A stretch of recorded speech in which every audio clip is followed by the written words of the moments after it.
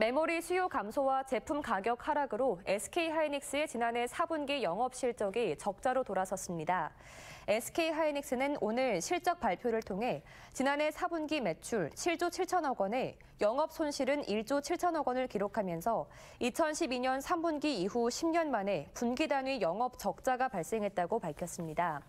회사는 올해 상반기 역시 다운턴이 심화되고 있는 상황이지만 투자 축소와 감산 기조로 하반기로 갈수록 재고가 줄어드는 등 시장 상황이 개선될 것으로 전망했습니다.